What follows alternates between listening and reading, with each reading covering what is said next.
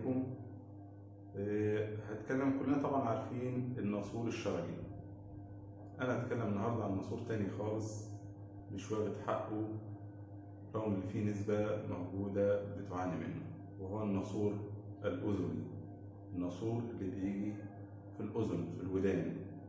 إيه الناسور الأذني ده اللي ما سمعش عنه قبل كده؟ هو بيبقى فيه زي شباك حصل أو نقص حصل في غشاء موجود بيفصل بين الأذن الداخلية سائل الأذن الداخلية وبين الأذن الوسطى. فبيدي فرصة للسائل ده بيخرج من الأذن الداخلية للأذن الوسطى وبعد كده لو قدر يخرج بيخرج لنا الطبلة بتاعت الأذن ويخرج لنا بره الودان على أصابير اللي هو إفرازات موجودة عندي وصديدية وبيبقى لها التهابات أو ساعات بيخرج لي أنا هنا على الكارتلج بتاع الرئيشة بتاعت الأذن ويبقى له فتحات معينة. واللي خلينا نتكلم في الموضوع ده بالذات رغم عدم شهرته ورغم انه موجود في نسبة بتعاني منه إن أنا لقيت أسرة بالكامل الجدة بالأب ببنوتة لسه مولودة مش مكملة أصلا أسبوعين موجود عندها الفتحة بتاعت الناسور الأذني إيه أعراضه؟ أنا كشخص عادي أنا يعني أحس بإيه؟ فأبدأ ألجأ للتشخيص ده كده يعني اللي أنا أروح لدكتور أنف وأذن استشاري استشاري أنف وأذن ويبدأ هو يشخص لي ويعمل لي الاختبارات اللي بنبدأ نقدر نحدد منها المرض ده. أنا كمريض بحس بدوخة دايما بحس بعدم اتزان صداع مستمر قيء وإحساس بالقيء. في أعراض تانية ممكن تسبب الكلام ده. استثني انت الأعراض ديت وبعد كده نشوف. وفي نسب كبيرة اللي أنا شفتها وكل الأسرة أنا بقول عليها ديت موجودة عندهم الناسور منذ الولادة. في فتحة بتبقى موجودة هنا. على الكاردج وفي فيديو أصلا في صور بشرح لكم بيها بالصور. الفتحات بتاعة الناسور وموجودة من الصغر ويمكن ديت بتبقى رحمة شوية لأن هو لها طريقه لبره فالإفرازات ما بتجمعش كمية الصديد والكلام ده كله والدوخة والصداع وعدم التوازن بيقل اللي قالوا منفذ طبعا بس بتأثر على الحياة طبعا وكفاءة ونشاط الشخص اللي عنده. الناسور الأذني كفاية اللي هي في أوقات كتير تحس ب زي صوت جرس في ودانك بسمعك بيقل كفاية إن أنت ممكن في أي وقت يخلي يتخلي اتزانك التشخيص الأساسي عشان أوصل لتشخيص هو في اختبارات السمع واختبارات توازن والكلام ده كله وكله طبعا تبع قسم الأنف والأذن والحنجرة السب سبيشاليتي بالتخصصات اللي تحت منها.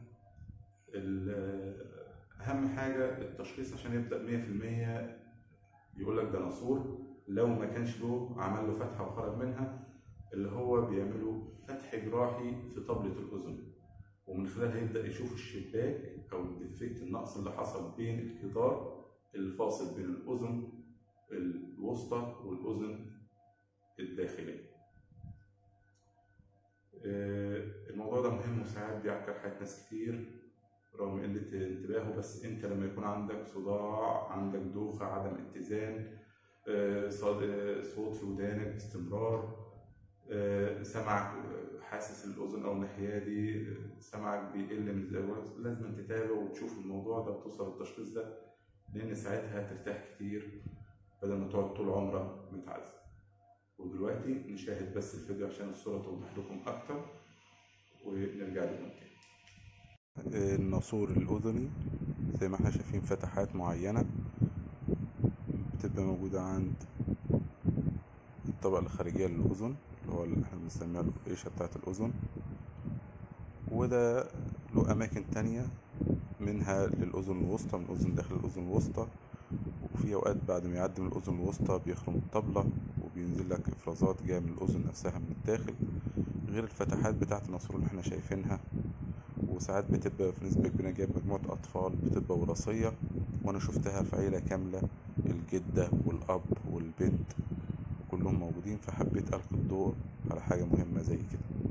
حضراتكم شفتوا الفيديو أرجع لحاجة مهمة وهي إيه أسباب حدوث الناسور الأذني؟ ودي يهم ناس كتير في الكبار بقى.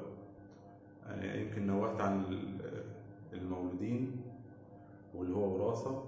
إيه بقى أنا كشخص كبير يحصل لي نسور أذني ليه؟ دي بنشوفه كتير في الناس اللي هواة الغ- الغطس أو الغواصين شغلتهم كده يعني والناس اللي بيرفعوا أثقال زي بتوع كمال الأثقال والناس اللي بيتدربوا في جيم من غير ما يكون معاهم ترينر محترف يقدر يوجههم فبيشيلوا أوزان كتير غير اللي هي ممكن تعمل لهم مشاكل في العمود الفقري والفقرات. لا ده ممكن تعمل لهم خرم. مش في طبلة الأذن زي ما هو مشهور بين الناس لا ده ممكن يعمل لهم في الجدار الفاصل بين الأذن الداخلية والأذن الوسطى ويعمل لهم الناسور الناسور الأذني. وده هيخليهم يكرهوا حياتهم درجة كبيرة. فشفانا الله وعافاكم. آه، دايما ما نخش على أي رياضة لازما أو أي حاجة إحنا جاهلينها لازم يبقى معانا حد ذو خبرة يوجهنا ما نخاطرش بصحتنا وحياتنا. الصحة كنز بين إيديك حافظ عليها. والسلام عليكم.